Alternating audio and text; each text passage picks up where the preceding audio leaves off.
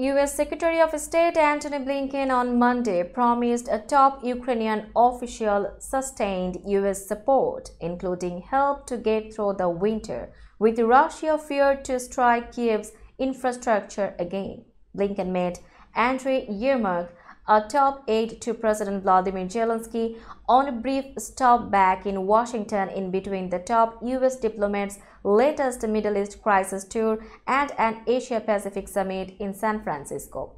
Despite the new focus on the Middle East, President Joe Biden has vowed to keep up the tens of billions of dollars for Ukraine to fight back Russian invaders, but he faces skepticism from parts of the rival Republican Party.